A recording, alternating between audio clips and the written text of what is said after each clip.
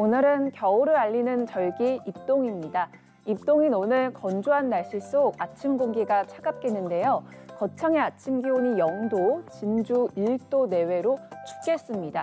또 내륙을 중심으로 일교차가 15도 내외로 매우 크겠습니다. 한편 창원에는 여전히 건조주의보가 발효 중입니다. 대기가 매우 건조한 상태라 불씨 관리 철저히 해주시길 바랍니다. 오늘 고기압의 영향으로 맑은 날씨를 보이겠습니다.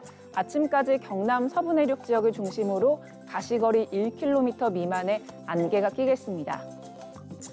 오늘 아침에는 춥고 낮에는 비교적 온화하겠습니다. 현재 기온 보시면 함안 0도, 창원 6도 내외를 보이고요.